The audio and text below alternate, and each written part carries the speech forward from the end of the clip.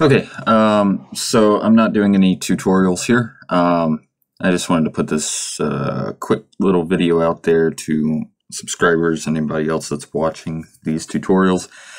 Um, I'm not sure how many of you view the posts that I put on my YouTube channel, but I, I don't think my posts are getting as much exposure as my videos are, so I figured the easiest way to kind of reach everybody would be through a video.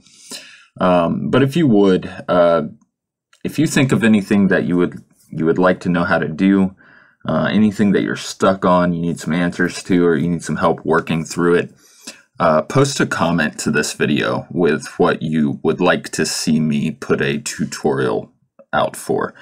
Um, because of course I've I've got ideas of stuff that I want to put out there, but I don't want to waste my time or your time uh, putting together tutorials that may not be something that you're overly concerned about. Um, so if you if you have anything in mind that that you really want to dive into, uh, whether it's uh, addressing all the different widgets and components within Flutterflow, um, working with animations, um, you know the the overall structure of how to build a page.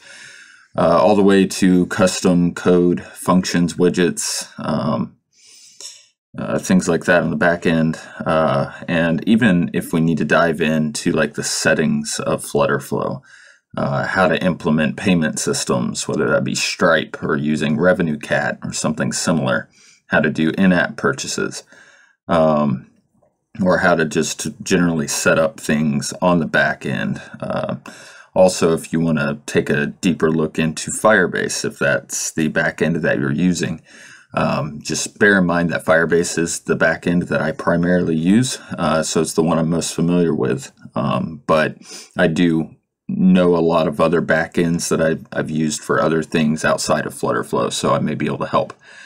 Um, so anyway, uh, if you if you have ideas of stuff that you would like for me to kind of narrow down on and focus on, uh, post a comment to this video and let me know what that is and if you can be kind of specific about exactly what it is you're wanting to look at um, so that I know which direction to go with it.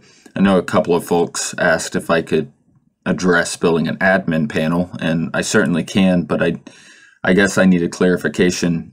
Are we looking for an admin panel for like an, an app level admin or are we looking for an admin panel for um, users within an app to have access to? So uh, if you can be specific as to what what you're wanting me to show you, um, that would be helpful.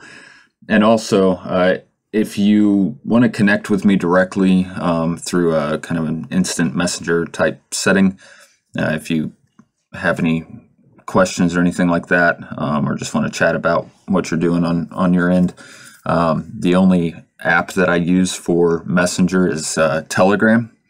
Um, I don't have WhatsApp or or anything like that. I don't have Facebook. Um, I gave up Facebook a long time ago, so you won't find me there.